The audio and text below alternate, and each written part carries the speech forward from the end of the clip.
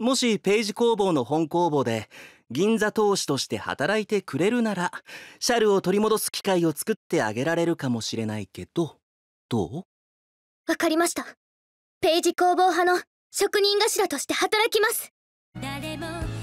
逆にこびて言いなりに作ればいいってもんじゃないだろ俺はキングだ。あ本名は忘れちまってな。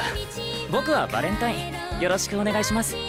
俺はナディール。ねえこっちに出てきてよ。昨日の続きを知りたげに手招いてみせた。彼女は可愛いな。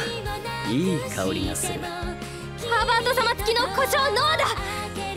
先代から受け継いだものは変えるわけにはいかないのだ。工房には今何かが必要なんです。あの子が何もできなかったら渡さない。シャルは私が自由にする必ず自分の力で助ける。お前が俺を助けるというなら俺は何をすればいい？銀座投資を襲う赤い妖精が再び現れた。俺があいつを引き離す。シャル一歩踏み出せば世界は変わる。想像もしてない。今回はやり方を変えようと思うの5人でどんな砂糖菓子にするか決めて5人で一緒に作ろうと思う。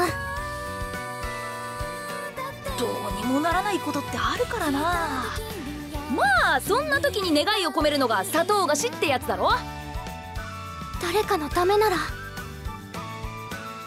誰かが求めている可能性があるなら私は作る。